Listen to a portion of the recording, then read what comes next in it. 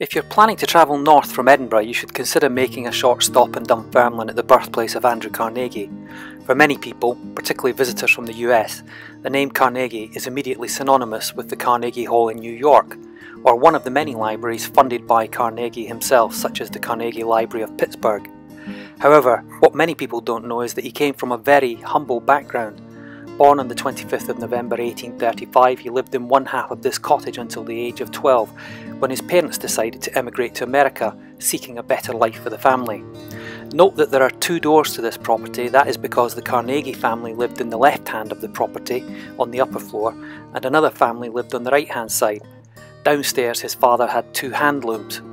Here is a living accommodation for the Carnegie family of five. All the cooking, eating, washing, sleeping took place in this space, which is no more than 15 square feet. Is it any wonder that they sought a better life? This would have been considered to be a good standard of accommodation. Apart from the living conditions, the main reason that the family chose to emigrate is because their small hand weaving business was threatened by the ever increasing industrialisation in Scotland. This, together with successive years of poor harvests, meant that the Scottish people were literally starving in the small room off from the living area is where his mother would spin the yarn and pass it down through the trapdoor to his father, who would then weave the silk cloth. The patterns would be created by these punch cards that you can see in this image. If you happen to be lucky enough to visit on the one day of the month that this gentleman is here, you can see him working the hand loom. It's fascinating, but must have been such hard work for Carnegie's father, working from sunrise to sunset, as well as training a journeyman to learn the trade. Watch as he explains about the operation of the handloom. Four years at university. And when they come back to us, hopefully they've managed to graduate in some form of constructive textile or design or whatever. Now, the very first thing we do when they come into us and are looking for work, we will set them down at a one pedal loom and watch how they work. And normally within two hours we can tell if that young person has got sufficient coordination to be able to train to produce fabric at a commercially acceptable level. Mm-hmm. The minimum length of cloth I must weave per day on a little loom like this would be six and a half to seven yards of cloth a day. Now, when I'm working, at the end of a full working day, this shuttle will have passed backwards and forwards somewhere between eight and a half to nine and a half thousand times. Uh, every time the shuttle must be thrown, my legs must actually operate across the pedals.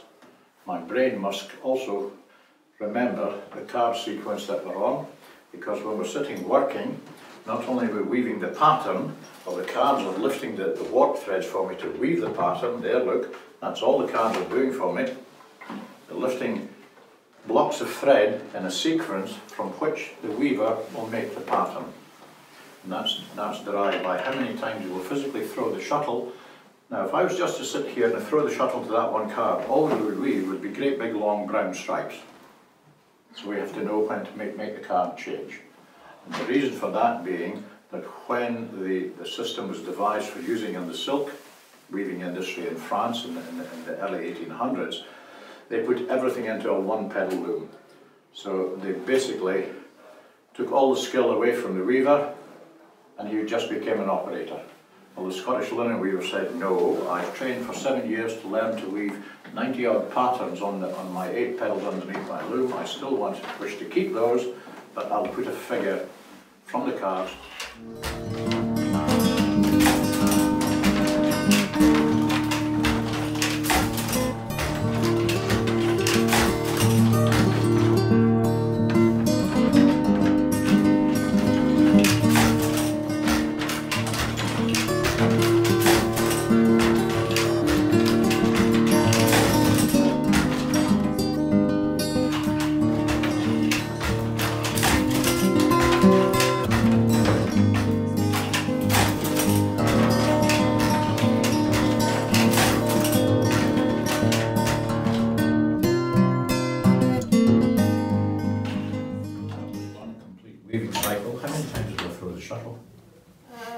You were counting for. Although this video has only looked at the interior of the cottage that Carnegie lived in, there is a superb museum next door that follows his life in America from when he started out as a telegraph messenger boy until he eventually sold his steel business and overnight became the wealthiest man in the world. During the remainder of his life he gave away most of his wealth to good causes.